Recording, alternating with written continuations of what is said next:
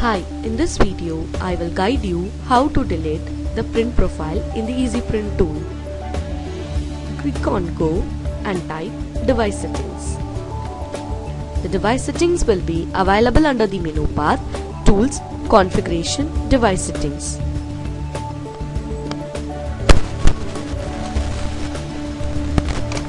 Click on Print Profile Setting and click on Profile Selection GST. Here, for the sales bill, I have mapped the 3 inch profile. Click on Preprint Design.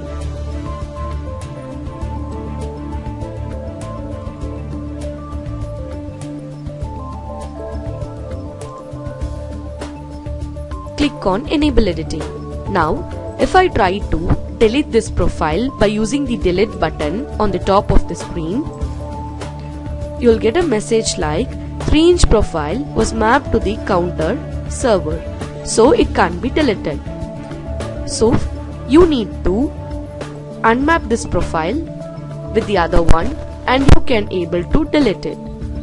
Click on OK and I will guide you how to unmap it. Click on F2 and now I am going to select the 4 inch profile and click on OK.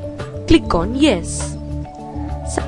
Su successfully the 4 inch profile has been mapped.